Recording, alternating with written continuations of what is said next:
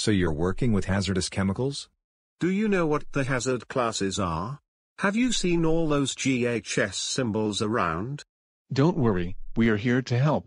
Identifying hazardous chemicals can be remembered by using the acronym TRIC. Toxic, reactive, ignitable, and corrosive. Toxic.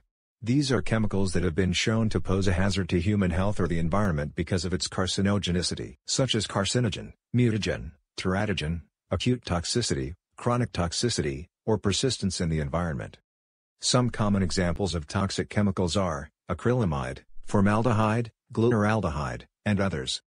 Toxic metal salts include silver chloride, cadmium sulfate, mercury acetate, and others. Look for the GHS symbol that looks like this. Ah. Reactive. These chemicals are unstable, explosive, capable of detonation, or react violently with water. Some common examples of reactive chemicals include alkali metals such as sodium, lithium, potassium, and others. Look for this GHS symbol. Ignitable. These chemicals generally are liquids with a flash point below 140 degrees Fahrenheit, oxidizers and ignitable compressed gas. Like the sign says, they can ignite.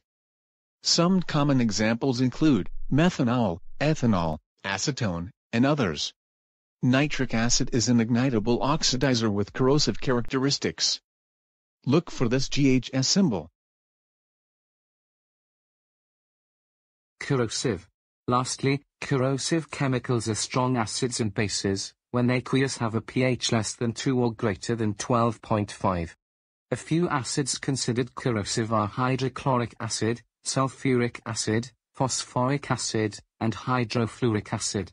Common bases include metal hydroxides such as sodium, potassium, calcium, nickel hydroxide, ammonium hydroxide, and organic bases such as amines.